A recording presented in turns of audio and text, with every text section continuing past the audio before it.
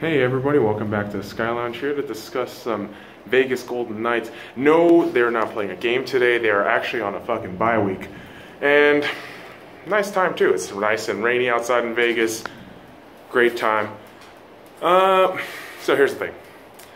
Halfway through the season at this point, 41 games played. The Vegas, Vegas Golden Knights are sitting at what, 29 wins, uh, 60 points in total. Uh, you also got uh, first in the Pacific, first in the Western Conference, exceeding every possible expectations um, on based on any franchise really.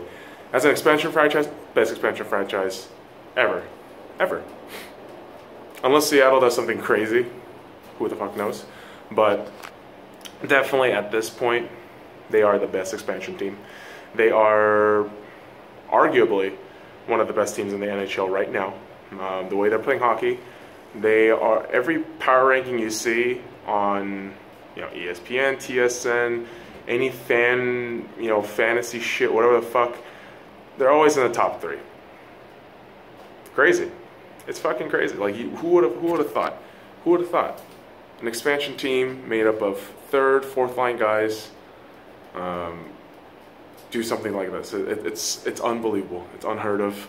Um, and here's here's the thing from you know we, we could talk about all the objective math and all the all the numbers they're putting up you know like william karlsson guys posting up 22 goals at this point uh, unreal james neal 18 goals at this point uh, Marchessault, what he's at what 39, 40 points at this point. I, I don't even know. I don't even know. But listen, the the thing, the bottom line is this: we can talk about stats, we can talk about numbers and all this shit, but at the end of the day, from a fan's perspective, right, from a fan's perspective, you have to realize I cheer for a lot of teams, um, you know, for other sports, and a lot of them, a couple of them are mediocre. You know, Arsenal you know, Football Club is a perfect example of mediocrity, but man, from from day one, this hockey club has been phenomenal.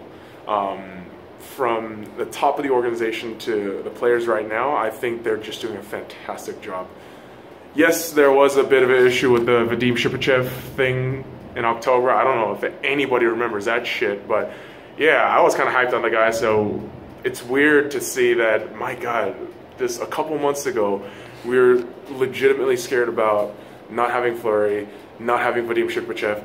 What are we going to do? To we are now in potential playoff race.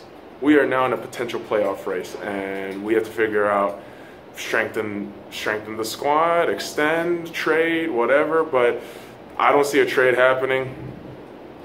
Not with a lot of these guys on the main, you know, these these main guys like James Neal, David Perron, uh, Oscar Lindberg, Marchessault, Smith, Karlsson, fucking Leipsic, uh, Nosek, Bellemare, any of these guys. I, I know I'm missing a lot of the defensemen too, like Garrison, Schmidt, Miller uh, Theodore, Merrill, uh, Engelland. I know, it's crazy. It's fucking crazy. It's just fucking crazy. And again, from a fan's perspective, you couldn't be happier.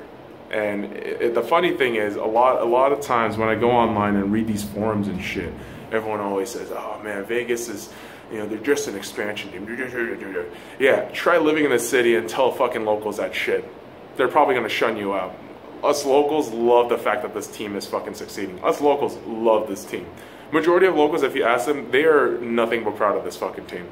And so, yeah, it, it's it's looking great. Hopefully, the second half of the season, you know, everyone buckles up, still does their job. I mean, you, see, Gerard Gallant got a. Uh, he got, yeah, he got the head coaching um, role for the fucking All Star game for the Pacific Division. So, congrats on him all these guys getting contract extensions. I definitely think James Neal is going to get one. Um, so we'll see. We'll, we'll, definitely see how the rest of the 41 remaining games go after this, uh, starting with the Islanders on Saturday. But it's an exciting time. It's absolutely an exciting time. Um, if you haven't been to T-Mobile Arena, definitely check it out. It is one of the best arenas, period.